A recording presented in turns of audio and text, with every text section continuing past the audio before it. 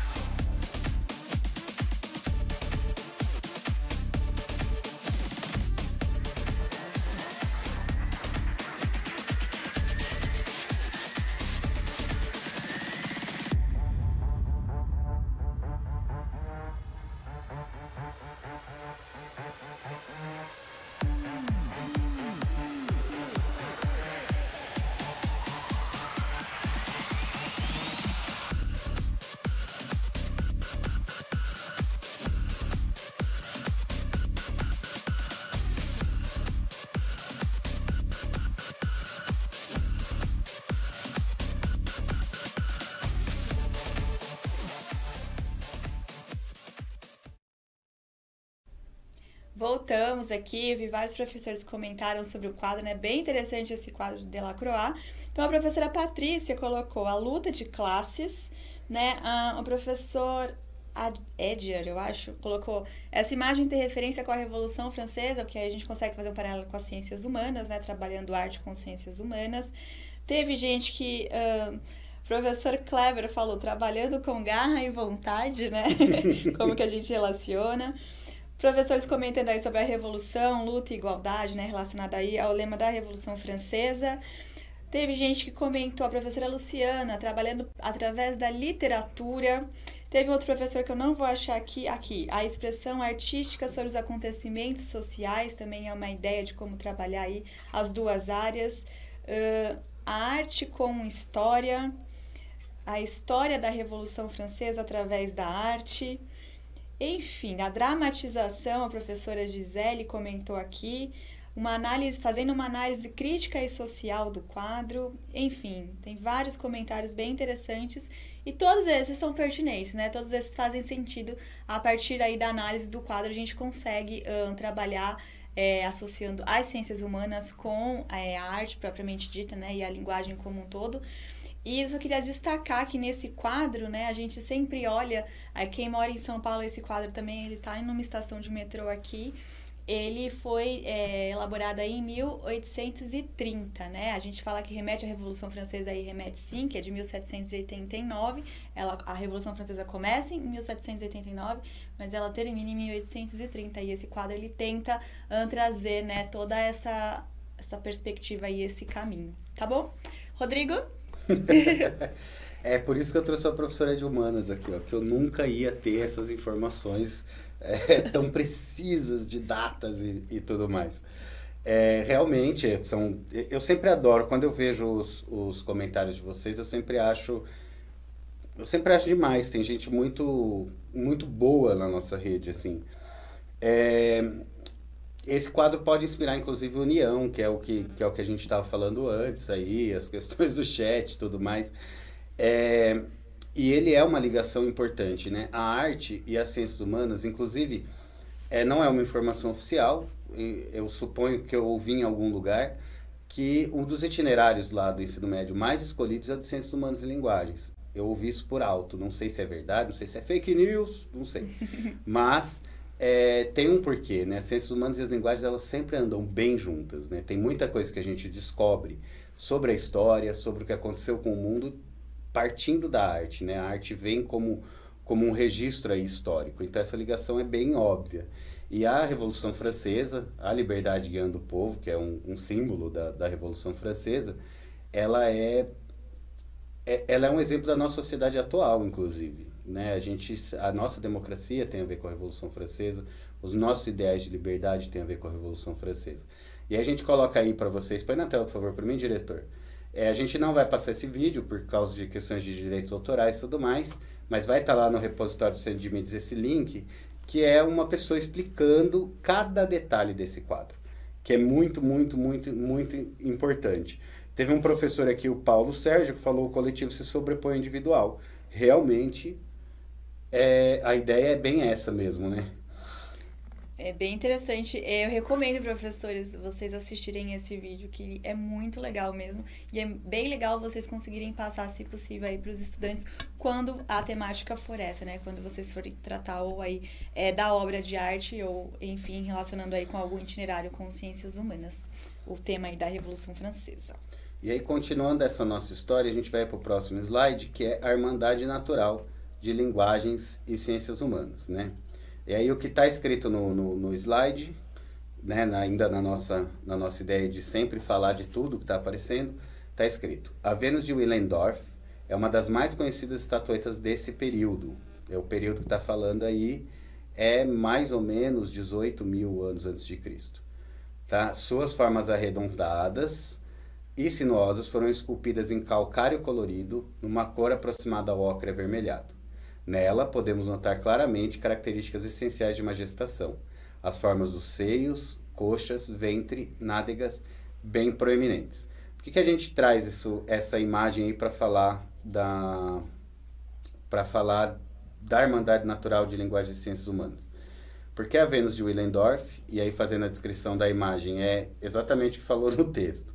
Né? É uma, uma escultura de uma mulher com bastante bastante características de que está grávida, né? Uma mulher mais ela tem seios proeminentes, um, um, uma barriga proeminente, ancas proeminentes. É, é engraçado que a gente sempre acha que, que nós não temos, que essa mulher não tem braço, mas na verdade ela está com os bracinhos em cima dos seios, se você observar bem. É, essa, essa imagem, quando ela foi, essa escultura, quando ela foi encontrada, hoje ela está num museu de história natural de Viena. Ela ela foi vista como uma Vênus, né? Em arte, quando a gente fala de Vênus, nós estamos falando do modelo de mulher ideal, independente da, da época, né? Então, acredita-se que na, na, na, época dessa, dessa escultura, o modelo de mulher ideal seria este, né? Considerando que esses homens vão para caça, passam muito tempo longe, e lembrando também que acredita-se, né? E aí, quando a gente fala acredita-se, é porque quando baseamos uh, é, para descobrir na arte para descobrir história e não tem um texto escrito sobre isso, a gente supõe coisas, né? Com muito estudo, provavelmente essas suposições estão certas, provavelmente, mas não dá para falar que é um fato. Né? Na arte aí dessa época aí pré-histórica e tudo mais, acredita-se que essas imagens elas eram um pensamento, aquelas pinturas rupestres na caverna, é, tem marcas de lanças riscando elas. Eles acreditavam, acredita-se, né? A teoria é que pintava-se esses animais e matava-se eles simbolicamente antes de ir para caça. E essa mulher, ela provavelmente pelo tamanho dela e tudo mais, ela era para ser carregada durante a caça. Ela era um amuleto. Um amuleto da sorte. É. Ela era pequenininha assim, né? Mais ou menos o tamanho desse controle. É, eu acho muito interessante essa coisa de tamanho de obra de arte, inclusive. A, a Mona Lisa tem 43 centímetros. Ela é desse tamanho, assim, mais ou menos que é uma coisa também interessante. A gente acha que é um quadro gigante, né? Já Guernica do Picasso, que a gente vai falar dele mais para frente, é bem maior do que o, o, nosso cenário aqui, mas muito maior. Mas pode falar. Não, não eu ia dar seguimento. Tá, então continuando. Então tá, continuando agora, gente, a gente vai então associar né, a educação física, mais especificamente, componente curricular de educação física, com as ciências humanas, né? Como que a gente consegue fazer aí esse paralelo? Talvez seja o componente curricular uh, que a gente tenha mais dificuldade de fazer essa associação. Então, a gente vai ajudar vocês aqui. Primeiro, eu queria lembrar vocês que a educação física, né, como, como ela era pensada lá no passado, a gente tinha a ideia de que a educação física era pensada para preparar o corpo para o esporte, para a competição, né? Então, era um modelo tradicional desportivo, técnico-científico, né? Mais preparado para a competição. Hoje em dia, né, na, quando a gente pensa na educação física, a gente não pensa mais nesse sentido, né? A gente pensa na formação integral do indivíduo, né? A gente trabalha o movimento como uma dimensão construtiva da identidade social do sujeito, né? A gente vê o corpo aí como uma dimensão cultural do movimento, tá? Não só mais aquele corpo para o esporte, para a competição especificamente. E ao pensar desse jeito, né, pensando no movimento, na dimensão cultural, do corpo, a gente consegue fazer associação com ciências humanas. Lembrando, lembrando que nas ciências humanas é onde o estudante, principalmente aí nos componentes, óbvio que geografia e história desde o ensino fundamental, né? Mas a gente pensar no ensino médio, né? Sociologia e filosofia, eles trazem mais aquela uh, ideia de desenvolver a ação reflexiva do nosso estudante, né? Desenvolver o senso crítico, a concepção do mundo, da sociedade e do ser humano. Então a gente consegue, uh, a, a, partir do momento que a gente está pensando o movimento como essa dimensão construtiva de uma identidade social do sujeito, a gente consegue uh, fazer com que as ciências humanas contribuam nesse sentido. Um exemplo que a gente tem para tentar fazer essa associação é essa fotinho que vocês estão vendo aí pequenininha, volta lá no slide, por favor, produção, do balé, né, da dança. Então, o balé, ela é uma dança que é só dançada, né? Em nenhum momento alguém abre a boca para contar a história e apenas pelo movimento do corpo, pela expressão corporal, a gente consegue entender a história, o que está acontecendo, né? De acordo aí com a, o balé que a gente está assistindo, certo? Arte contemporânea também, dança contemporânea também, a gente consegue ver essa expressão corporal, né, dimensão cultural do corpo, que é o que a gente está querendo trazer aí da educação física para vocês hoje. No próximo slide, a gente consegue já trabalhar diretamente essa prática corporal, né? Essa expressão corporal aí do corpo em evidência. E com isso, a gente vê aqui, né, que na educação física a gente tem essa articulação interdisciplinar, né, do conhecimento sobre a cultura corporal ou cultura do movimento, né, ou também ou, outras pessoas chamam aí de cultura corporal do movimento. Né? A gente consegue ter essa interdisciplinaridade de conhecimento com o trabalho na educação física.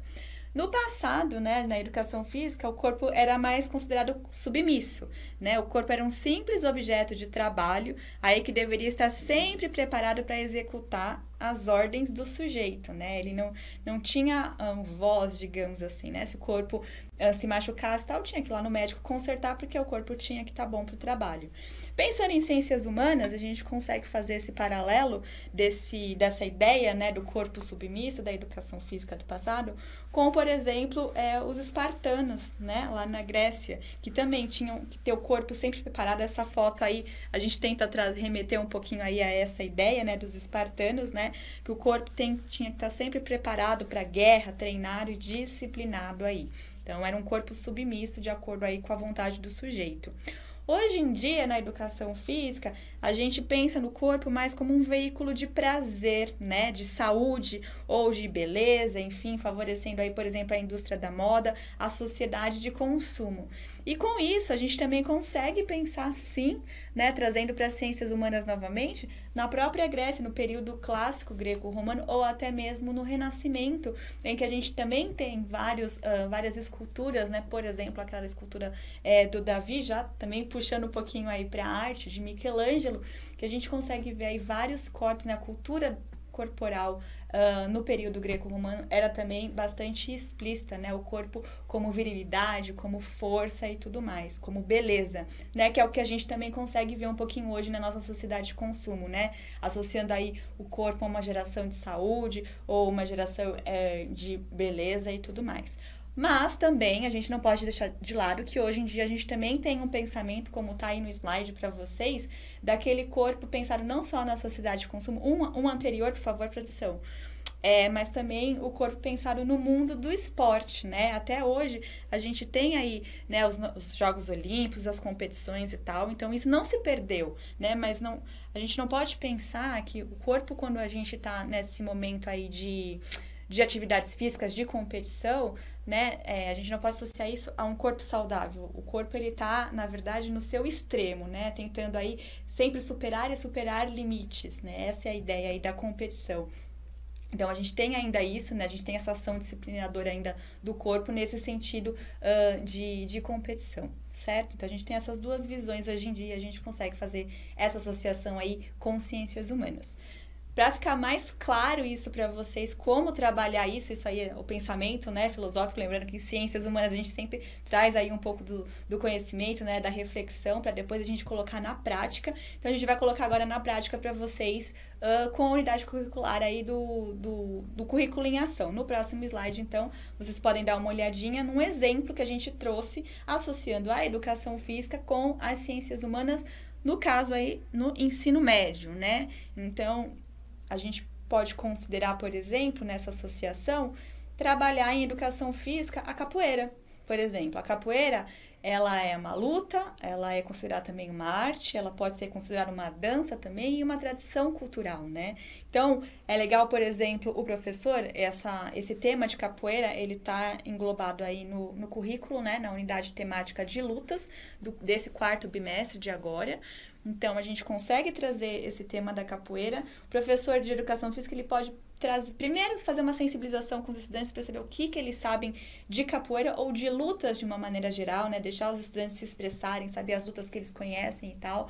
Apresentar a capoeira, trazer aí um aparato histórico, pode até chamar um professor de história para isso, né? Explicar um pouquinho como que a capoeira foi criada, né? Como que ela era utilizada, trazendo aí, remetendo já aí a arma, uma das armas contra a escravidão que era utilizada aí a capoeira.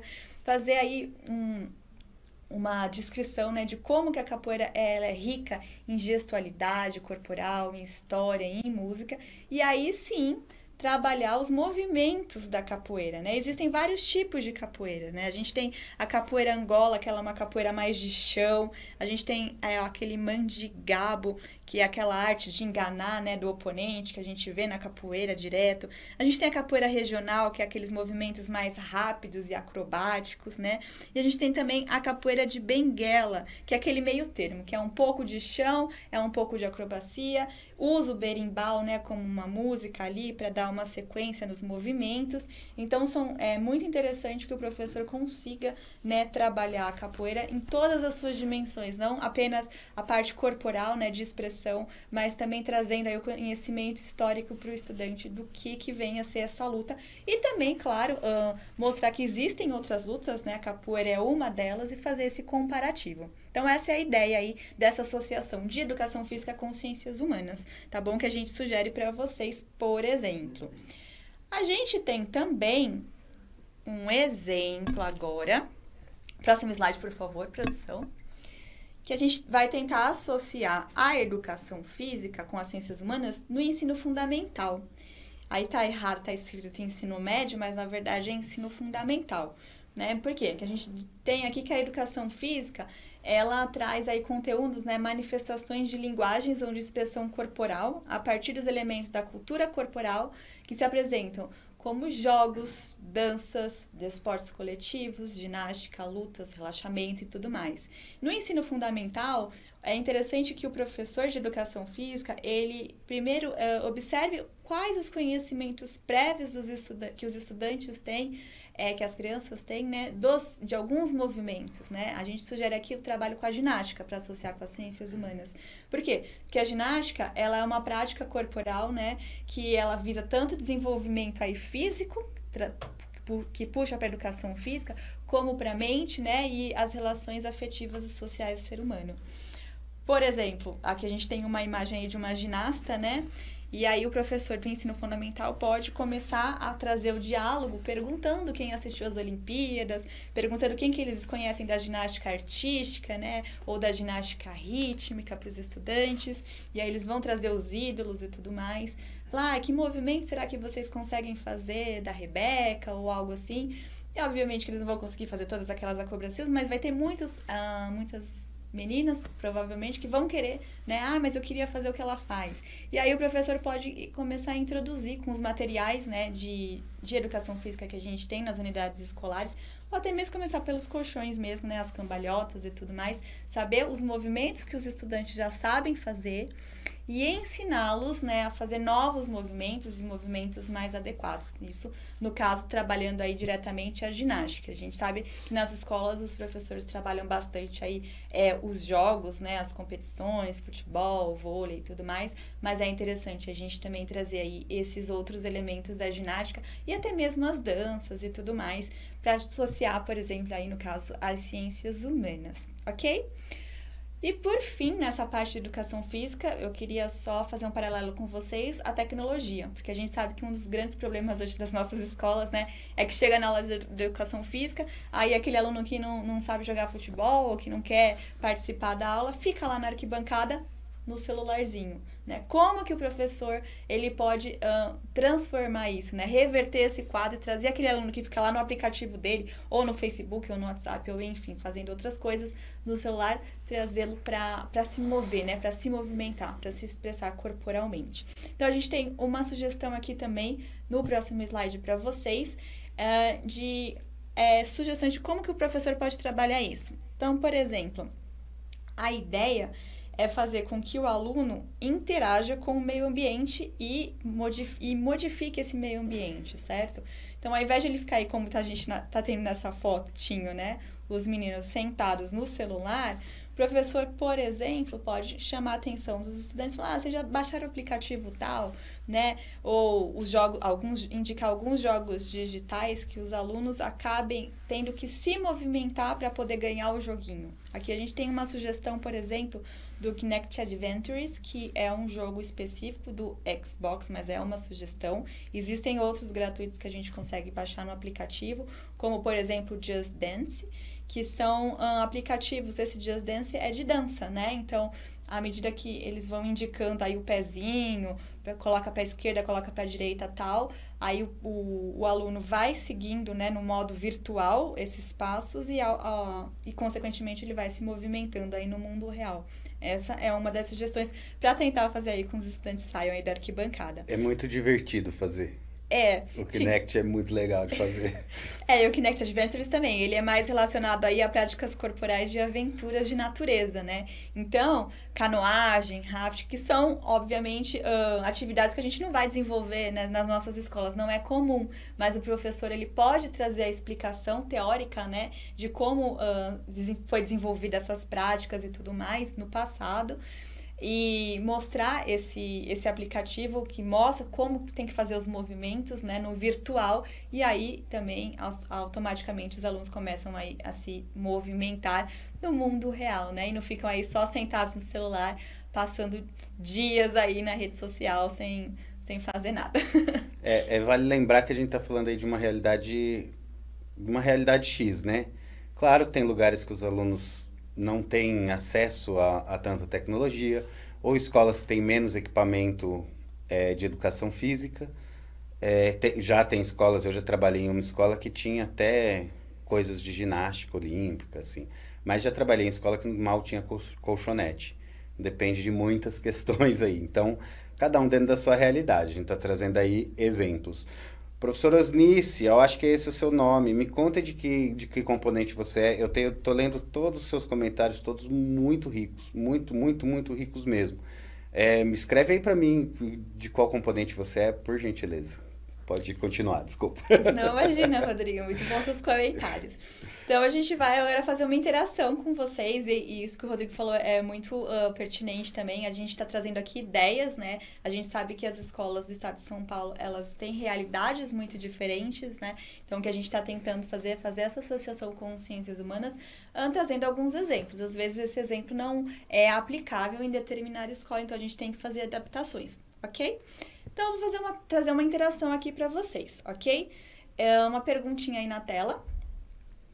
Levando em consideração a realidade da comunidade escolar, de que forma as ciências humanas e sociais integradas à área de linguagens podem contribuir para um melhor desenvolvimento integral do indivíduo, trabalhando aí a dimensão integral, né, que está tão explícita no nosso currículo em ação.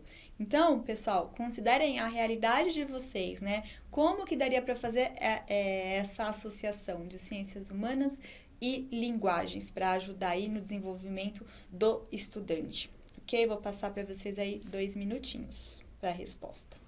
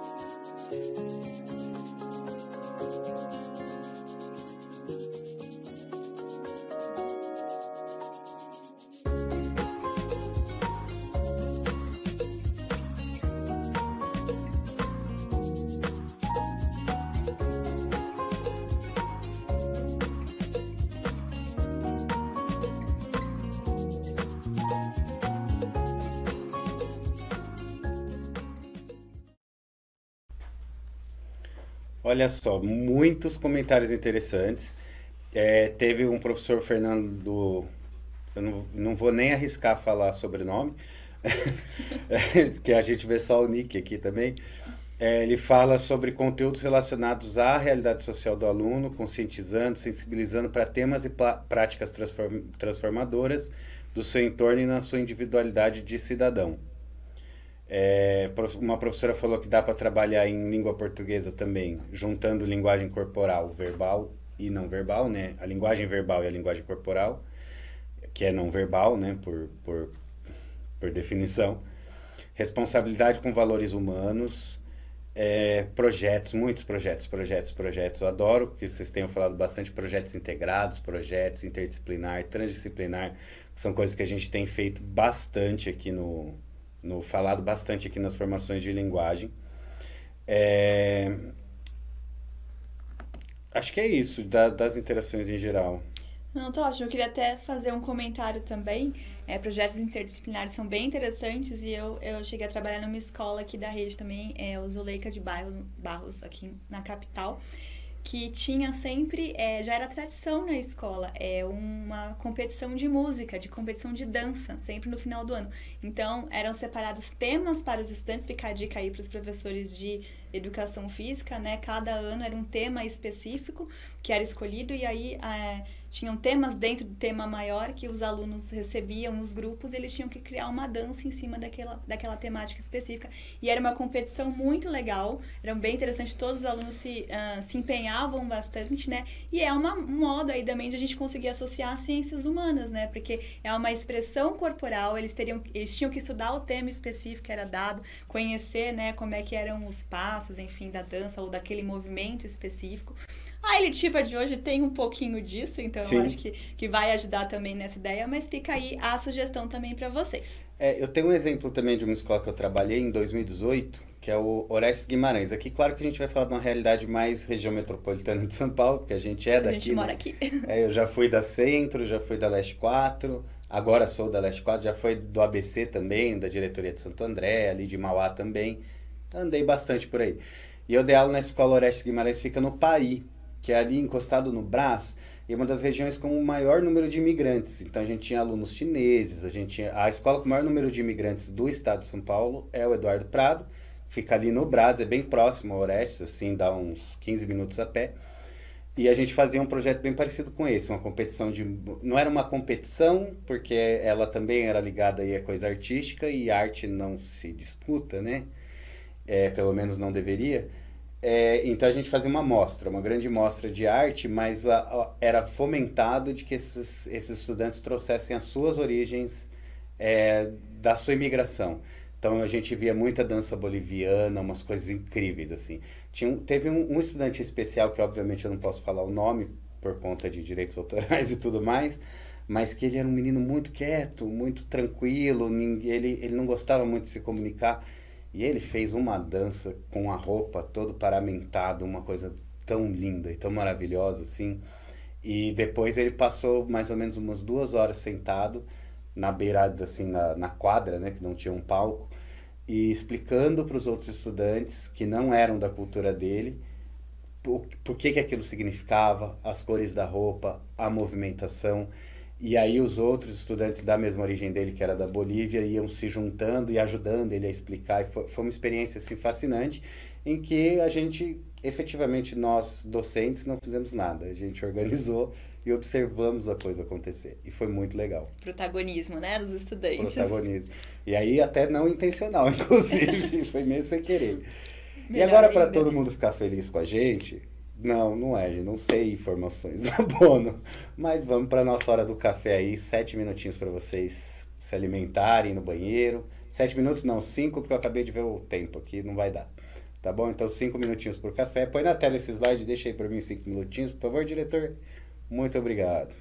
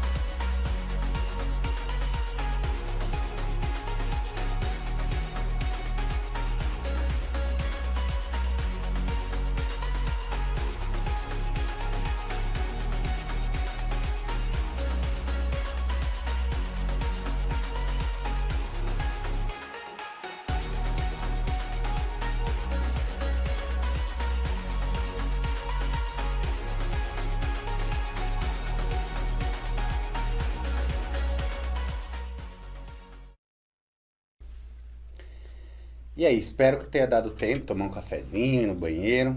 Para mim deu. Tô aqui com, com o café.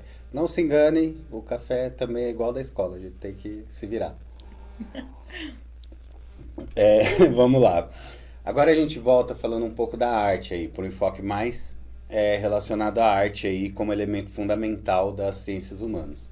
E aí eu falo como elemento fundamental porque a, a, a arte ela ajuda as ciências humanas a entender algumas questões históricas. Ela sensibiliza para questões sociais. E aí eu estou trazendo aí para vocês, a primeira imagem que a gente traz aí é essa obra do Pablo Picasso, né, que é Guernica, que foi que obviamente aí é do cubismo e tudo mais. Todo mundo conhece, acredita, é uma obra gigantesca. E aí fazendo a descrição da imagem, tanto para quem tem problemas é, de visão e também para a gente conseguir aí prestar atenção em alguns detalhes.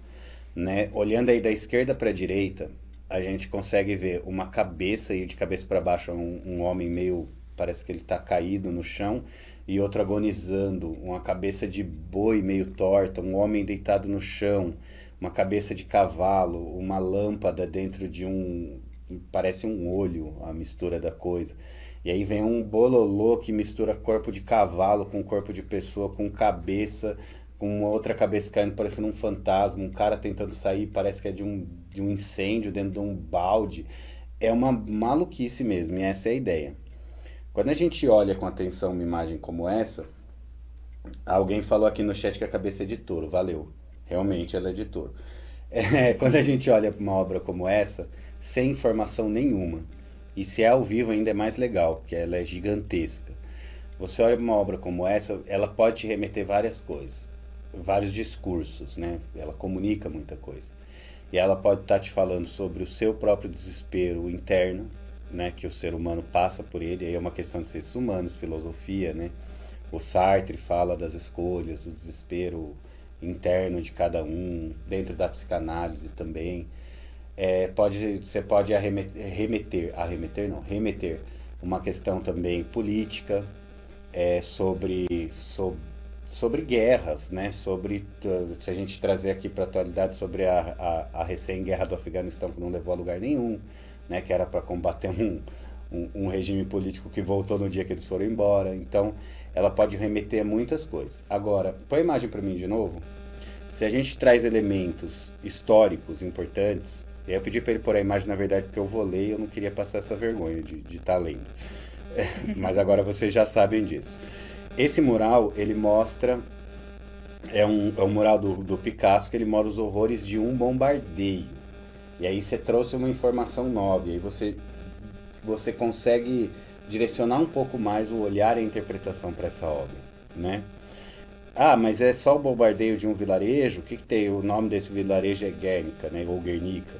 Tá só isso? Não, era um vilarejo que só tinha 7 mil pessoas, 7 mil habitantes, que não era uma zona importante nessa guerra específica não era uma área militar, não tinham soldados, não tinha nada. Foi o exército do general Francisco Franco, né, na Guerra Civil Espanhola, que, resol... que, que bombardeou e eram mais bombas do que habitantes na cidade. Então eles conseguiram aí, eles conseguiram aí, é, o Picasso ele, ele resolveu fazer, ele resolveu não, né? Ele viu essa, essa, essa demolição, essa coisa toda e ele resolveu mostrar isso na sua obra. Mas as leituras podem ser diferentes aí de acordo com, com, com o que você sabe ou não sobre essa barbárie. Pesado, né, gente? Começamos pesado. E aí, passando para próxima, o próximo slide, a gente vai falar aí de, é, de uma unidade curricular. Vocês estão vendo aí o C1, Unidade Curricular 1, né, que é do Itinerário Formativo de Linguagem e Ciências Humanas juntos. Essa primeira unidade curricular, ela vai se chamar Tradições e Heranças Culturais. Espera aí, do que, que você está falando? Vamos, vamos voltar um pouco? Você está muito rápido, Rodrigo. Então, vamos lá. Novo ensino médio. A partir do segundo ano, esses estudantes vão ter lá suas 10 aulas ligadas às unidades curriculares do novo ensino médio. A primeira unidade curricular, para quem optou por linguagens e ciências humanas, vai se chamar Tradições e Heranças Culturais. Essa unidade curricular, ela é como se fosse um grande projeto, falando bem a grosso modo, e ela vai ser separada por cinco componentes curriculares. O primeiro componente curricular, que vai ser ministrado preferencialmente pelo professor de arte, né? E, e as, as habilidades dele são também parecidas com, são dentro da questão da arte e tudo mais, elas giram em torno de tradições culturais, né? Então, a grosso modo, o professor vai investigar alguns valores que permeiam a realidade cotidiana de diferentes culturas do Brasil e do mundo. E aí, se nós fôssemos é, trabalhar essa unidade curricular com o quadro lá que a gente acabou de ver, a gente poderia falar aí de tradições culturais da Espanha, inclusive, da Guerra Civil Franquista e tudo mais. O componente 2 dessa unidade curricular, que ele vai ser é, ministrado pelo professor de educação física. Esse não é preferencialmente, é especificamente pelo professor de educação física. Chama Práticas Corporais de Lutas e Heranças Culturais, que a Gia acabou de falar sobre isso práticas corporais de lutas. Ela acabou de falar para vocês a questão da capoeira e tal. Era exatamente sobre essa esse componente curricular. Então nem vou nem vou esmiuçar muito ele. O terceiro componente desse dessa unidade curricular é ministrado por um professor de ciências humanas. Ele vai abordar patrimônios e as territorialidades e a formação do povo brasileiro. Né? Então, o nome, inclusive, do componente é ressignificando a formação do povo brasileiro. E a gente vai tentar entender aí nessa ressignificação que o povo brasileiro não é europeu, não na sua totalidade, que o povo brasileiro não é um povo rico, que o povo brasileiro tem ascendência em diversos países, culturas, e por isso que é um país tão miscigenado, que inclusive já foi citado por vários filósofos, inclusive pelo Humberto Eco, o qual eu sou fã, que é um dos povos mais ricos culturalmente do mundo, exatamente por causa dessa miscigenação. E a gente tem é, significado pouco isso, né? Trazendo pouco isso para o nosso orgulho de ser brasileiro, né? Mais, mais orgulho da eu tenho mais orgulho da nossa cultura, inclusive, do que de qualquer outra coisa. O quarto componente dessa unidade curricular é diálogos com a literatura, cultura em contexto. É, esse quarto componente ele vai ser preferencialmente ministrado pelo professor de língua portuguesa, né? E ele vai falar do texto, né, com o contexto de produção dos papéis sociais. Então a gente vai trabalhar aí a literatura dentro de papéis sociais, da cultura, do contexto cultural dessa desses estudantes. E o último componente, o quinto, dessa unidade curricular, ele é preferencialmente ministrado por um professor de filosofia, e ele vai tentar ir pesquisar, experimentar e refletir a cultura e os seus sentidos. E aí, o que, que a gente pode falar da. Volta aqui para mim, por favor, diretor. Que a gente pode falar da cultura e seus sentidos e das tradições e heranças culturais? O que, que é uma cultura, né? Qual é a definição dessa palavra cultura? Dentro do estado de São Paulo, a gente consegue pensar em várias culturas diferentes. A gente tem sociedades indígenas, a gente tem quilombos, a gente tem o interior de São Paulo, a gente tem o ABC, né? Quem é de São Bernardo, como a professora Raquel, que vai aparecer aqui com a eletiva Tropicália, fala São Bernardo. Eu que, sou do, eu que sou de São Paulo vou falar de um jeito, a pessoa que é, que é do interior vai falar leite quente. Isso tudo já é cultural. O que, que é cultura? É um conjunto de valores, coisas que nós damos valor. Né? É, na minha cultura, eu dou valor por uma determinada coisa. Na cultura de, do fulano, ele vai dar, vai dar valor por uma outra determinada coisa. E essa, essa unidade curricular inteira de, de linguagem de ciências humanas, ela vai falar exatamente de cultura, de como a gente herdou esses valores, né? Como a gente herda é, essa importância para as coisas, né? A gente fala valores, dá uma impressão muito de família tradicional brasileira, e não é disso que eu estou falando. São coisas que nós damos valor. Eu, Rodrigo, pessoa, vou dar valor para quê? Eu vou dar valor para questões artísticas, vou dar valor para uma coisa bem pesada na amizade. É, são valores que eu herdei da minha família, que eu herdei dos meus amigos e da minha construção social, do lugar onde eu cresci e tudo mais. Se você me colocar em cima de um cavalo, eu vou cair, porque isso não faz parte da minha cultura. Então é sobre isso que a gente está falando e de onde vem essas heranças. E aí, não falando mais de componente do, do componente do, do novo ensino médio especificamente, foi só uma pincelada, a gente vai falar aí de um exemplo de arte nas ciências humanas no ensino fundamental. Então, eu trouxe aí para vocês algumas habilidades. uma habilidade de história, uma de geografia e uma de arte. Então a gente vai observar o seguinte, na, e todas elas são do oitavo ano. Então vamos imaginar, vamos nos imaginar em, um, em uma unidade escolar, e aí cada um tem a sua realidade da sua unidade escolar, certo? É, a gente está numa turma de oitavo ano, e aí a gente tem essa, o professor de história tem essa habilidade. Ele vai identificar e analisar políticas oficiais com, a, com relação ao indígena durante o Império no Brasil. É um momento histórico. O geografia vai pensar aí nas, na, na análise de, de desigualdades sociais e econômicas de países e grupos de países da América e da África e tentar relacionar as pressões sobre a natureza e a apropriação de suas riquezas e discutir as consequências para as populações desses países e os impactos para a biodiversidade, que é basicamente o resumo dessa, dessa, dessa grande habilidade aí, a gente faz na piada com os, com os portugueses. Quando reclamam alguma coisa do Brasil, a gente fala, tá bom, então devolve meu ouro, devolve meu pau Brasil, seus trombadinha. e, Bem isso. em arte, a gente vai falar aí de diferentes estilos visuais das, de culturas indígenas, brasileiras e latino-americanas e africanas, contextualizando-os no tempo e no espaço. Vamos lembrar também que essas três habilidades são habilidades do quarto bimestre. A gente tenta trazer nas formações assim, sempre do bimestre corrente. Gente, isso. Dentro dessas habilidades, põe aí na tela para mim o próximo slide, por favor. Nós temos aí um, um momento de aula aí. São aulas descritas aí. Esse, esse exemplo de aula integrada, que é o que eu tenho tentado trazer em todas essas formações, é, vai estar tá lá no repositório, escritinha. Quem quiser usar, pode usar, me avisa se quiser. Nesse nosso exemplo de aula integrada e projeto, né, a gente vai partir para uma, tentar partir para uma coisa simples, né? Até porque o tempo que a gente tem são quatro aulas semanais de história, quatro aulas semanais de geografia, duas aulas semanais de arte. Então isso vai totalizar 12 aulas no total. 4, 4, 8, 9, 10 e eu me perdi completamente na conta, daria, daria 10 na verdade. Mas vamos considerar 12, tá? É, a gente passa para a próxima semana, duas aulas, né? Então a gente vai fazer um pequeno e simples projeto que vai durar uma semana e duas aulas, né? Que desenvolva habilidades nesses três componentes curriculares: História, Geografia e Arte certo? Que são essas três habilidades. Nessa ideia aqui, essa ideia de projeto aqui, não importa qual professor vai mediar a aula. Não, não, não, não precisa ser especificamente professor de arte, especificamente professor de história naquela aula específica, desde que siga a sequência didática. É como se os três estivessem trabalhando juntos, mas em momentos separados, tá?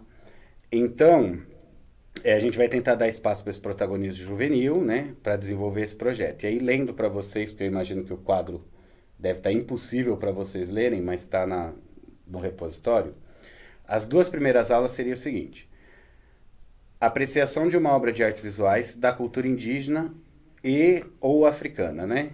Lembrando que nesse ano, na, na no componente de arte, o indígena e o afro-brasileiro ele é trabalhado o tempo todo, desde o primeiro bimestre. E só um adendo, então, um componente de geografia no oitavo ano é específico, trabalhado a América como um todo, mais especificamente a América Latina e a América do Sul. Então, dá para associar aí com é, os indígenas. É, em arte, primeiro, segundo, terceiro e quarto bimestre, é, é, bem parecido, só que vai focar na questão indígena, né, que é das Américas, mais específicas, a gente não fala de índio norte-americano, uhum. e de, da, da cultura afro-brasileira, de como o afro entrou no, no, no, Brasil, né? Então, é importante que... Põe, põe na tela, por favor, de novo, para mim, diretor, esse quadro. É, é importante contextualizar esses períodos históricos, né? O uso da cultura desses povos, né? E aí, vendo... Qual é a ideia? A gente vai ver essa obra de artes visuais, a gente vai pensar na cultura indígena e africana dentro da questão artística, histórica e geográfica, que também influencia, né? E o que, que é importante que o mediador, no caso o professor, faça nesse caso? Uma curadoria dessa imagem. O que, que é uma curadoria? Escolher essas imagens com bastante atenção. E escolher imagens que fique fácil da, da gente entender e se localizar no tempo e no espaço. Por que, que isso é muito importante? Porque normalmente a gente leva coisas que a gente gosta. Mas às vezes o que a gente gosta ainda está fora da complexidade do que o aluno, do que o estudante consegue acompanhar naquele momento. Então, quem vai saber? Por que, que eu não trouxe imagens como exemplo para vocês? Porque quem sabe o que o seu estudante consegue acompanhar é você. Você, o professor, é o que sabe melhor do seu estudante. Então, e não importa qual dos três professores, qualquer um dos três, a curadoria pode ser feita entre os três juntos, qualquer um dos três pode apresentar essas obras. Duas aulas só para olhar a obra, discutir obra. Simples. Depois a gente vai para as próximas duas aulas. A gente vai ainda mais fundo nessas imagens, igual a gente fez aqui mais ou menos com, com a imagem do Picasso. Tá? Então a gente vai usar ela como ponto de partida, separar vários grupos, e esses grupos vão ter dois objetivos diferentes, né? Se a gente for dois grupos, é um grupo com cada objetivo. Se for quatro, dois grupos com um objetivo, dois com outro e tudo mais. Então, uma parte desses estudantes vai analisar e pesquisar as, as desigualdades do continente africano gerada pela exploração de recursos naturais lá da África. E vão construir com, uma, com, com um material que for justo com a realidade da sua unidade escolar, aí depende do que você tem, uma maquete que vai demonstrar essas desigualdades, buscando uma estética que tenha a ver com as imagens que, que, eles, for, que eles olharam. Putz, complicado isso que você falou, né, Rodrigo? Vamos de novo, tentar simplificar. Eles olharam essas imagens, eles vão fazer uma pesquisa rápida ali sobre as desigualdades no continente africano, e essas desigualdades a gente vai focar nas que foram geradas pela exploração de recursos naturais, igual no Brasil, a gente sabe que só encontraram, só vieram para o Brasil porque estavam atrás de temperos nas Índias, que já era uma exploração de recursos naturais. A exploraram o Brasil, exploraram a África. É, a, a, Europa fez tudo isso né, nesse tempo. E com base nisso, eles vão criar uma maquete. E a estética dessa maquete, a cara dessa maquete, tem que ter a ver com as imagens que eles olharam. Logo, e esse é um grupo. O outro grupo, ao mesmo tempo, por isso só duas aulas, o outro grupo ele vai pesquisar e analisar as desigualdades geradas pela colonização nos países americanos como um todo. Isso eles já estão fazendo, inclusive, no componente de história, que a, que a Gi trouxe. É de história, né? História e geografia. História e geografia. É, e no Brasil, mais especificamente, que, né, que, é, que é o que mais importa para gente, e vai relacionar com as ações do Império, do Império Português, Espanhol na época, né? assim como associar a exploração desses recursos naturais aqui no Brasil e como isso influencia o Brasil até hoje. Como isso influencia os dias atuais. E vão fazer a mesma coisa do outro grupo, construir uma maquete que demonstra essas desigualdades, buscando uma estética próxima às imagens apreciadas. Então, o primeiro grupo, desigualdades no continente africano, o segundo grupo, desigualdades nos países americanos e no Brasil especificamente, sempre ligando com a exploração de recursos naturais. Próximo slide, por favor. As próximas duas aulas, 2, 4, 6, essa é a sexta e a sétima aula. Gente, eu escrevi 12, mas são só 10 mesmo, dá para fazer isso em uma semana. é, são mais duas aulas para eles continuarem construindo a maquete. Como eles estão construindo a maquete, não precisa de uma perícia técnica, ninguém está esperando artistas renomados, obras-primas, é, qualquer professor pode mediar isso, pode ajudar ali com alguma coisa. Não precisa ser o professor de arte, ninguém está esperando grandes artistas. Na verdade, a gente está esperando que ele consiga comunicar o que ele quer. Né? Então, a gente tem aí do, mais duas aulas para construção de maquete. E nas duas últimas aulas, projeto bem simples, eles vão montar a exposição dessas maquetes e vão pensar em apresentações. Essas apresentações eles podem gravar áudios, eles podem escrever textos, contando sobre essas questões políticas, históricas, geográficas, sociais, culturais, que ajudaram a colocar o racismo e o preconceito no Brasil como uma política de Estado. Ela foi uma política de Estado, agora existe um movimento para não ser, né? existe um movimento antirracista, temos a trilha antirracista aqui na Secretaria de Educação e tudo mais, mas ele foi uma política de Estado por muito tempo, se estuda isso histórica, sabemos disso, e como isso ficou hoje como uma questão estrutural. Mas, Rodrigo, então esse projeto que você está apresentando para a gente é uma trilha antirracista? Pode ser, pode ser. A grande questão é, a gente precisa ter a trilha antirracista para trabalhar o racismo? Não necessariamente, né, minha gente? Tudo bem até aí? Bastante coisa, né? Um projeto aí de uma semana, dá pra, daria para fazer. Se alguém vai estar tá tudo no, no vai estar tá tudo lá no repositório. A professora Lourdes aqui acabou de falar que ela está trabalhando a consciência negra de uma forma diferente, proporcionando aos estudantes uma reflexão sobre o negro na sociedade. É, é, é um bom. É, é, um excelente comentário, na verdade, e inclusive vou ler com mais atenção depois. Prometo, professora. É, mas estamos trazendo aí um exemplo de como a gente pode trabalhar três componentes curriculares, três professores no ensino fundamental de forma integrada é, trazendo aí um projeto. E aí a gente vem logo em seguida, o slide, por favor, diretor, o próximo. Aí. Eu não vou ler tudo isso para vocês, tá?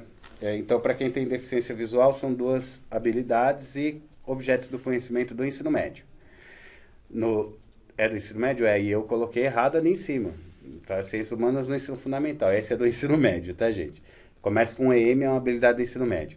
São duas competências gerais da BNCC, competência de linguagens, que é aquela que a gente falou no começo, né? analisar processo de produção, circulação de discurso nas diferentes linguagens, né? tanto linguagem textual quanto não textual, artística e tudo mais, fundamentada em função de interesses pessoais e coletivos.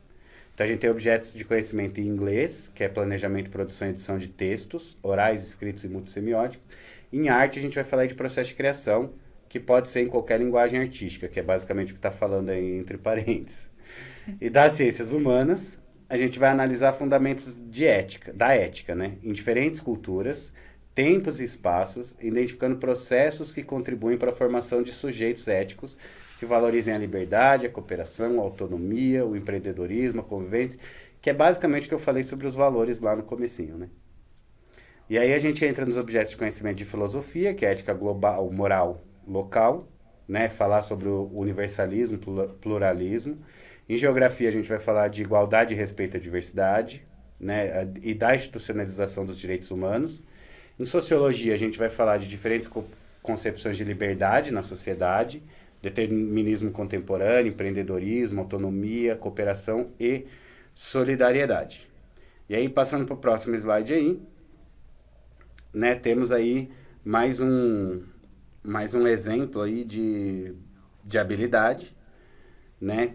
E aí trazendo um objeto de conhecimento, é uma habilidade geral de ciências humanas, e o objeto de conhecimento é em história, né? A gente vai falar aí do apartheid na África do Sul e a segregação étnico-racial no mundo. Inclusive tem um filme maravilhoso que chama Distrito 9, que fala sobre isso e que é muito louco. Eu não sei nem porque eu estou indicando, mas é bem legal. Assistam. E aí vamos para o nosso exemplo de aula. Estou correndo um pouco por causa do tempo, tá, gente? Então, próximo slide, por favor. A gente tem uma tabela com o número de aulas que a gente vai usar nesse projeto. São 17 aulas. Não necessariamente vai dar uma semana, pode dar menos, na verdade, porque tem menos aulas de língua portuguesa. Por que cortamos aulas de língua portuguesa nesse projeto? Porque temos o Aprender Sempre para fazer também. Então, a gente tem três aulas de língua portuguesa, duas de língua inglesa, que é o normal da semana, duas de, de arte, duas de educação física, duas de história, duas de geografia, duas de filosofia e duas de sociologia, pensando aí num primeiro ano do ensino médio. Próximo slide, por favor. Dentro dessas 17 aulas, a gente vai ter aí as duas primeiras aulas, na mesma ideia do, do, do, do projeto anterior, né? É importante, é, dá para pensar no professor que vai mediar essa aula mais específico, mas também dá para os outros professores mediarem a aula. Não, não tem tanto essa obrigação de ser o professor específico. Tá claro, se o projeto for construído juntos, todo mundo tiver apropriado do que está acontecendo nessa turma. Nessa primeira aula, os alunos já, os estudantes já são divididos em grupos menores para pesquisar e discutir e definir uma linha de pensamento sobre um tema pré-definido pelo professor. Esse, pelos professores, né? Porque é um projeto com vários professores. Então, pode ser ética global quanto à distribuição de vacinas no mundo, pode ser moral do bairro em que ele está inserido, pode ser respeito à diversidade de etnia, pode ser respeito à diversidade sexual, pode ser direitos humanos para humanos, que é uma frase horrível, né? Direitos humanos para humanos direitos, que fala, aquela coisa toda. Concepções de liberdade. Então, pode ser esses temas, são exemplos aí de temas que, que vocês podem trazer. Essa pesquisa tem que ser baseada em texto ou e em vídeos. E gerar anotações para estabelecer uma linha de raciocínio. A gente está ensinando eles a pesquisar direito, com referências. Né? Ela tem que ser baseada em texto. Ele não pode tirar uma ideia porque o tio Clayton falou no churrasco do domingo. Nas próximas duas aulas, já, já divididos nos grupos e já definida essa linha de pensamento, eles vão planejar e, e produzir uma pequena dissertação para estabelecer a sua opinião pessoal diante desses temas que foram pesquisados, né? E aí vale a gente focar, frisar para o estudante que a opinião dele não pode contradizer o fato comprovado. Então ele pesquisou, ele sabe o que é fato comprovado e o que é teoria. Ele não pode ir contra um fato comprovado cientificamente. Ou seja, ele não pode afirmar que o negro é biologicamente menos desenvolvido, como diziam lá o racismo científico. Tem um nome mais específico para isso, eutonia, eu acho. Não tenho certeza. Mas como esse racismo científico aí que eles falavam no século XIX. Isso já foi provado pela ciência que é mentira. Então eles não podem ter esse tipo de argumento. Os argumentos têm que ser baseados em fatos científicos. Afinal, estamos numa unidade escolar, né? Passando para o próximo slide, por gentileza. Próximas duas aulas, eles vão identificar formas de violência que podem ser manifestadas dentro dos seus respectivos temas, os temas aí que eles escolheram. No caso da diversidade de etnia, por exemplo, em comparação com o apartheid lá na África do Sul. Né? E eles vão ter que representar isso por meio de uma imagem simples. Então, retomando rapidamente, eles fizeram a pesquisa sobre, sobre os seus temas eles planejaram e produziram um pequeno texto e agora eles vão fazer a mesma coisa, identificar as formas de, de violência, mas em vez de produzir um texto, eles vão produzir uma imagem. E aí depois, por meio de gestos e de imagens estáticas, nas últimas quatro aulas, eles vão fazer uma espécie de cena teatral, trazendo a narrativa aí dentro deste, deste tema. Passando para o próximo slide, eu estou realmente correndo, gente, porque eu quero muito mostrar a professora Raquel. Tem, eles vão apreciar essas cenas, eles vão ensaiar e eles vão apresentar para o resto da escola. Basicamente é isso. Dei uma resumidona aí rápida, mas basicamente é isso. E agora, o que muita gente aí no chat esperava, e, e a gente pode dissertar mais sobre, sobre esse projetão é, depois. É, eu vou trazer para vocês aí dois vídeos, a gente vai estourar um pouco o tempo. Desculpa aí, produção. É, a gente vai trazer dois vídeos, um da Raquel e um dos seus alunos é, para vocês verem. Então, vejam com atenção, ela traz uma eletiva sobre tropicalismo, misturando arte e ciências humanas.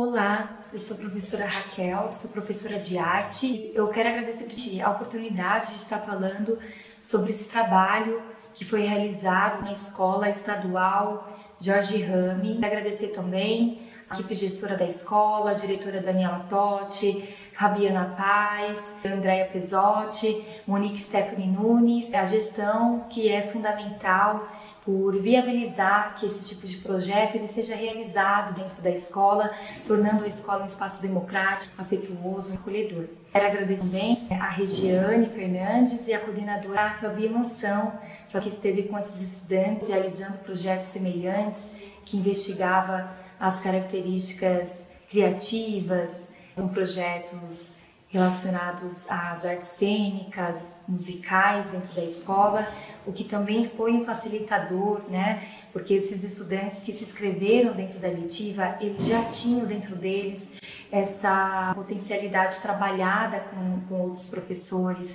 Então, eu quero salientar aqui que nós, todo professor, vai fazendo um trabalho contínuo com o outro e nós sentimos isso quando estamos com essas turmas. Foi feito ali um, um, projeto, um trabalho antecessor. A primeira experiência ela foi do Parangolé, pensando em fornecer para esse estudante uma experiência que ela fosse também prazerosa, porque nós estávamos vivendo um momento difícil. Né? Então a proposta é que ele vivenciasse uma experiência que ela fosse investigativa, algo que trouxesse desse momento né, da quarentena, da reclusão social dentro de casa, algo que fosse satisfatório. Partindo do Hélio de Sica, nós fomos trabalhar é, um pouco do contexto histórico-social. A gente foi falar da ditadura, nós investigamos os desaparecidos políticos, nós vimos o filme da Zuzu Angel, nós vimos o filme Terra em Trânsito do Glauber Rocha. Nos dessas pesquisas, os estudantes eles tiveram possibilidades de usarem como experimentos técnicos aquilo que eles mais se sentiam confortáveis para usar. Então, alguns utilizavam fotografia, outros o poema, outros o que eles descobriram, revelando acontecimentos políticos durante a ditadura militar. Foram trabalhos fortes, conduziram também a um poema do César. Esse poema que ele fez, nós compartilhamos coletivamente num vídeo de três minutos Cada estudante fez uma parte de 10 segundos, resultando num filme de 3 minutos, com a interpretação do estudante Vitor e da Vitória. Apreciar também os trabalhos artísticos pelos tropicalistas, né? pelo disco Tropicalia e Circenses e todos os artistas que conduziram é, para driblar a censura é, na música que era conduzida durante a ditadura, fizeram interpretação desses artistas. Então nós vamos ver todas as interpretações desses artistas num portfólio que foi realizado online.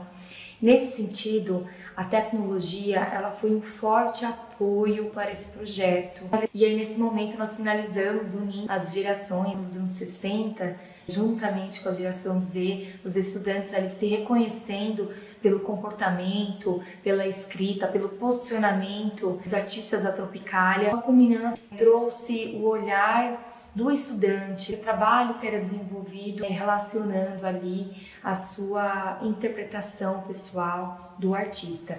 E resultou na culminância que foi compartilhada com a professora Benê e com a professora Kátia, que estavam trazendo também a culminância de suas eletivas no ambiente virtual. Então é esse processo que foi a eletiva Tropicália. Agradecer também a professora Selma, do Vladimir Esori, que é uma grande referência na educação e na vida. Né? Agradecer também o professor Rogério, Edna Vanderci, da Escola Estadual Célio Negrini, professores da Escola Estadual Antônio Nascimento. Agradeço né, a professora Soraya, Isabel, para Lília, Rosângela, Cida, Mércia, Elizabeth, Luceli e Adriana. Eu agradeço de estar aqui com vocês, né, compartilhando mais vez esse encontro. Então, eu quero agradecer imensamente né, a dedicação de cada estudante, agradecer seus posicionamentos, a, a partilha de suas visões de mundo e parabenizar pela potência que eles têm em modificar e transformar as coisas como estão. Eu agradeço pela escuta, pelo diálogo com todos os meus companheiros né, de luta, professores. Sigamos atentos e fortes, como diz a canção da Gal, e até a próxima oportunidade.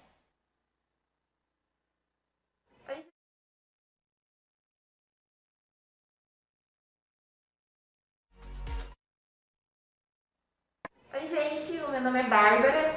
Eu já me formei, mas durante o meu terceiro ano do ensino médio eu cursei a literatura tropicária. Nosso trabalho final, eu escolhi né, interpretar a Nara Leão para contar um pouco sobre ela. Conversa como se eu fosse a Nara Leão. Interpretar a Nara Leão já foi muito legal, mas fazer isso dentro da, da, da nossa letiva foi mais legal ainda. A gente estava em um contexto pandêmico, onde estava tudo muito um caos a gente não sabia muito bem o que ia acontecer, a gente estava perdido. Foi um, uma distração durante esse caos todo de falar sobre assuntos que a gente gostava, sobre artistas que a gente escutava. É uma situação muito boa e muito benéfica para todo mundo ali na época. E foi um trabalho lindo. Prazer participar. Oi, meu nome é Vitor, eu sou um ex-estudante do Jorge Rami, eu participei da eletiva Tropicália, estava finalizando o terceiro ano. A primeira coisa que eu me lembro da Tropicália foi uma sessão de fotos feita sobre o Parangolé. E eu, eu nessa ideia decidi enfiar minha irmã e minha gata nessa sessão que ficou, na minha opinião, muito boa. Eu gostei bastante de ter feito ela.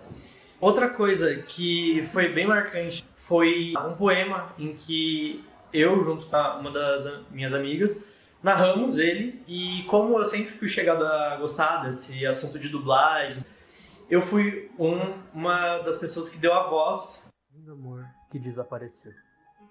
Não sei onde está, mas sinto que algo aconteceu.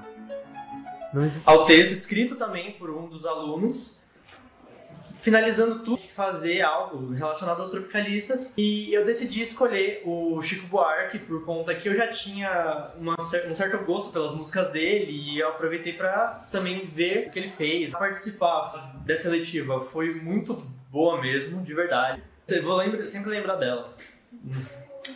Oi, eu sou a Micaele, eu estou no terceiro ano do ensino médio e ano passado eu fiz parte da eletiva Tropicália e foi muito incrível, a gente conseguiu muito aprender por meio da arte, então foi muito bom, eu gostei muito.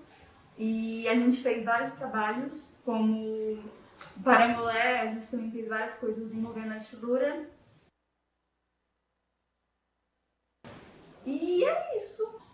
Meu nome é Beatriz, eu estou no terceiro ano do ensino médio da Escola Jorge e eu fiz parte da eletiva Tropicália com a professora Raquel. Fazer parte da seletiva foi muito bom eu, quanto os outros alunos, tivemos uma aproximação muito grande com a cultura brasileira. É, os trabalhos que a professora propôs para a gente foram, foram muito experimentais, mas é, nós fizemos o Parangolé, que está no meu coração, foi muito legal, muito divertido. Obras é, relacionadas à ditadura, que foi um período muito pesado. Me aproximou muito de uma artista minha preferida do Brasil, a Rita Lee, que é uma artista que participou da Tropicália e tem a sua história aí maravilhosa. Enfim, para mim foi uma das melhores experiências que eu tive na escola e eu agradeço muito a professora Raquel por ter proporcionado isso pra gente. Oi, gente, meu nome é Giovana, eu sou do segundo ano da escola Jorge Rame e hoje eu vim contar como foi minha experiência na eletiva tropical. No começo não me identifiquei tanto, tenho que ser sincera. Mas aí um dos meus primeiros trabalhos foi sendo a Carmen Miranda, procurei muito dela, procurei a biografia. E depois fui aprendendo mais e mais e mais até que chegou a parte tropicalistas, do Caetano, da Maria Bethânia, da Gal, que foi quando eu pude interpretar a Gal. E para isso eu assisti muito aquele show que ela fazia, que chama Show Índia, que ela usava aquela flor no cabelo e ela era sensacional, brilhante. E assim eu me montei de Gal, me apresentei de Gal, com a música Deu um Rolê, foi muito massa e eu amei. Oi, Vitória, estou no terceiro ano do médio. Eu participei da, da, da eletiva da professora Raquel no segundo ano do ensino médio. Depois a gente entrou no, no contexto pandêmico, como todo mundo já citou, e a eletiva para mim foi mais um refúgio no ano passado. Eu fiz o para mulher e eu descobri que eu gosto muito de dirigir coisas eu também editei um, um vídeo. Ah, meu filho, onde está indo? E me diga por que você sai todo escondido. Foi muito importante porque eu não sabia que eu gostava desse lado. É, gente, professora Raquel Ingrid, lá de São Bernardo, arrasou demais no vídeo. Foi uma correria para ela fazer isso aí pra gente. É, ela mandou pelo Instagram, então, ó, lembrando aí, é, Rodrigo Gargolê no Instagram, facinho de achar. Gisele Teles. Como é que é a Gisele? Fala Gisele com um L, com dois L's e Teles com um L só. É, Acho isso. É isso. É, tem um professor aí que, que dá aula de, de ACD, de ginástica artística. Inclusive, ela falou, manda para ela, tá? É, para a gente falar aí mais no futuro. Dá uma corrida agora, porque a gente tá meio sem tempo. É, ter, vamos ter aí no slide para o repositório, põe na tela aí para mim, por favor, um Saiba Mais. Esses vídeos da, da Raquel e da, e da turma dela estão também no YouTube com um tempo maior, com menos cortes, porque é que a gente tinha menos tempo. Então, quem quiser conferir o vídeo inteiro, estão aí os dois vídeos, o vídeo da professora contando da sua eletiva e dos seus estudantes. Né? Continuando aí, a gente teria uma interação, eu vou pular essa interação, então já vou pedir aí para o diretor passar para o slide, acho que 54, esse, isso mesmo. Caso você já tenha acompanhado as formações de trabalho equipe 1, 2 e 3, você já sabe que a gente está falando da integração por meio de projetos de linguagens com matemática, ciência da natureza, entre os componentes de linguagens, e hoje com ciências humanas. Né? Com essa afirmação dentro da sua realidade, das suas relações profissionais, das condições da sua unidade escolar, como é possível usar a integração a favor do desenvolvimento integral de seus estudantes? E digo mais, a favor de facilitar o seu trabalho. Tá? Então, vou deixar aí um segundo, mas vocês respondam no chat que eu vou ler depois, assim que acabar a formação. Passa para o próximo slide, por favor. Temos aí, vai estar tá lá no repositório o link das, de todas as formações. Linguagem de matemática, linguagens em geral, linguagens e ciências da natureza e hoje o linguagem e ciências humanas. Né? Não vou falar das referências, mas vou passar rapidamente ela aí na tela para vocês. Referência 1, teve várias, são três páginas de referência. Passa aí para mim, por favor, diretor, para o próximo. Aí, temos aí uma página de referências, você está no celular, dá um print. Segunda página de referências. E a terceira página de referências. Eu não posso finalizar essa formação. Passa aqui para mim, por favor. Não posso finalizar essa formação sem fazer o que eu tento fazer todas as formações. Agradecer a uma equipe gigante que trabalha aqui para gente, que é toda a equipe lá do Centro de Formação de Professores, do CEFOP, aqui da EFAP. Agradecer ao nosso diretor, acho que é a primeira vez que trabalho com ele, que é o diretor Mauro. A nossa produtora Karim, a Fran, que está lá nas mídias, a Tainá, que me acompanha, acho que desde o meu começo aqui na, na EFAP, na TI, o Belo, maravilhoso câmera aqui, a, que está aqui na minha frente, o José e, obviamente, essas pessoas lindas aqui, ó, embaixo, que é a Bianca e a Kátia hoje, que fizeram a interpretação por Libras. E também vocês que estavam aqui dando atenção para gente e a professora Gisele que veio aqui da equipe de Ciências Humanas como convidada. Obrigada, Rodrigo. Obrigada, professores. Espero que vocês tenham gostado aí da minha participação especial, pequenininha, mas acho que deve ter ajudado aí a contribuir com vocês com as ideias, né, introduzindo aí as ciências humanas na área de vocês. É, eu vou encerrar, antes de encerrar, a gente vai passar novamente aquele vídeo da trilha é, antirracista, né, do professor Nonato para vocês aí. Quem não conseguiu assistir na primeira parte dessa formação, dá uma olhada agora. Obrigada e até mais. Até semana que vem, minha gente.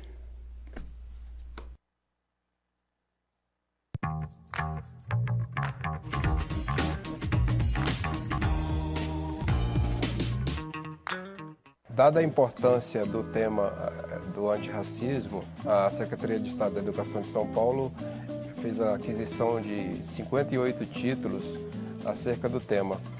E o livro que eu escolhi hoje é o livro para indicar para vocês é o livro da Jamila Ribeiro, um pequeno manual antirracista que traz uma temática bastante interessante acerca da construção da identidade e de como nós, enquanto é, agentes, é, combatentes do racismo, podemos nos comportar frente a essas questões que, que batem a nossa porta todos os dias. Então, trabalho com, na sala de aula, sugiro que seja para todos os públicos e acerca da construção da identidade, sobretudo, e de como estas pessoas podem, então, é, atuarem na, na pauta antirracista. Esta é a minha leitura de hoje e eu espero que vocês gostem.